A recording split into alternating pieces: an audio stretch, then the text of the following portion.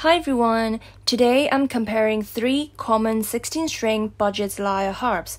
The first is a solid body lyre in a bow design, the second, a hollow body lyre with a sound hole, and the third, another hollow body with a sound hole in a deer slash antler design. Now they're all from the Aklot brand, but many other brands have the same features, so you can use this video as a reference. I will show you how the three lyres differ in playability and sound. Some of these differences I did not know until I compared them side by side, like you're about to see. But first, something about me. I started playing the lyre this year. I'm making this video from the point of view of a user who has played the lyre for 9 months. I started with the bow design, and I recently got these two, courtesy of Aklot. Let's talk about how they are similar.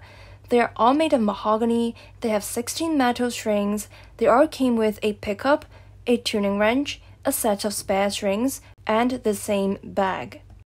Difference number one is the string accessibility.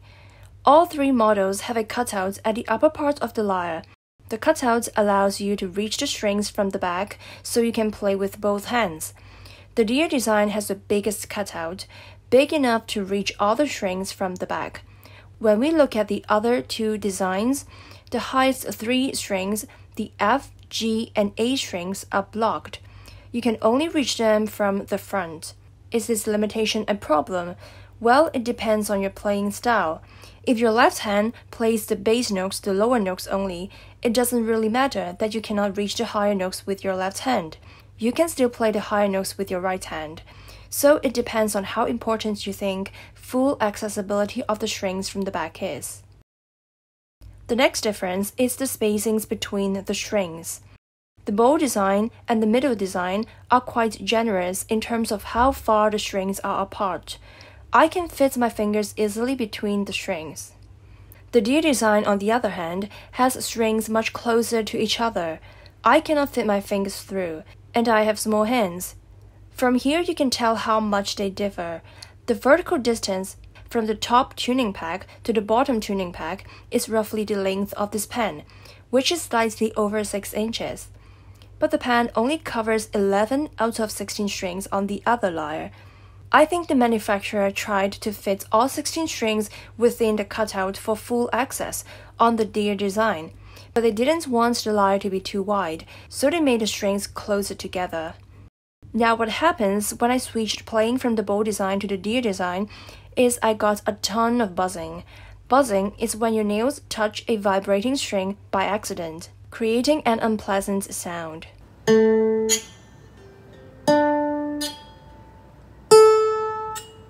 One of my lovely viewers, one of you, offered a solution to this problem. She said it's easier to play with your nails and not your fingertips, which makes a lot of sense. Your nails can get in between the strings with more precision. However, I like to keep my nails short, so I'm not using this method now. I just play with the very tip of my fingertips when I'm playing the deer lyre. The closest strings of the deer design allows you to play faster, but you need more precision, especially towards the two ends where the strings are even closer together. Difference number three, the pickup.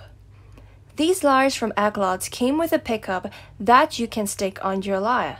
The pickup collects and transmits the music to an amplifier, so the music you play will be loud enough when you perform for a crowd.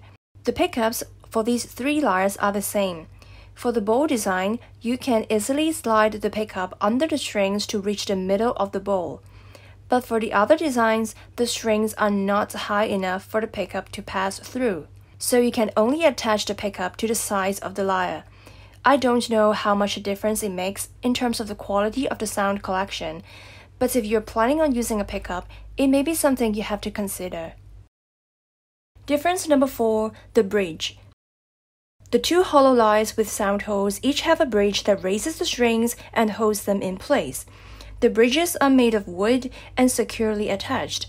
On the Deer design, the edges of the bridge are filed down so they are more rounded and don't scrape against your skin or clothes. I wish they would do the same thing for the other hollow lyre because the edges are a bit pointy. Not pointy enough to hurt people, but making them less sharp would be a nice touch. The bow design doesn't have this problem because it has no bridge, which brings us to the next difference. Playing upright. Because the bow design has no bridge, when you're playing upright, make sure nothing touches the strings. If you play like Music Bloomer, it will not work because her leg is touching the strings. And for a lyre with no bridge, the notes will go dead. Same thing if I'm wearing something chunky or if I'm playing on my blankets on the bed. If anything touches the strings, the notes will go dead. But it doesn't mean you can't play the bow design upright. You're just not as free. Look at Joy Abad. I hope I'm saying her name correctly. Or Janine Faye. They have no problem with the bow design because they keep it clean. Nothing is touching the strings. If you haven't already, check out their channels. They play the lyre harp very well. Difference number 6 The back. When you turn the lyres around, the middle one, that is the hollow body lyre, has the ends of the strings exposed whereas the other two have the ends hidden in drill holes so that their backs are completely flat. There's nothing wrong with exposing the ends of the strings, it's just not the most comfortable thing in the world to hold. Finally, we're off to a sound test. I'm going to play the same tunes on the three lyres. I'll play them under the same room conditions using the same mic. The only thing that may affect the fairness of this test is that I've been using the bow lyre for 9 months, so the strings are 9 months old, whereas the other two lyres have new strings. Other than that, everything else will be the same. I will play the same tunes, starting with the bowl-shaped solid body lyre, followed by the round-shaped hollow body, followed by the deer-shaped hollow body.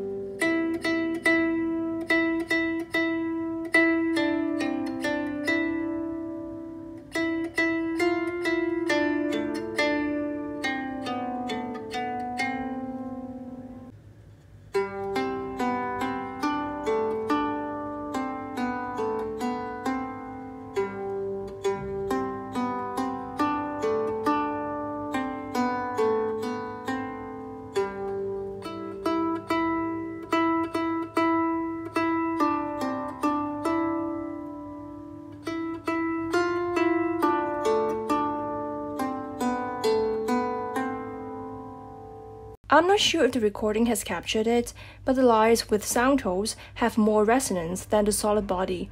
But then the solid body has a somewhat sweeter sound. Which one do you like the best? Is there anything else you want to know about them? Tell me in the comments below. Thank you for watching.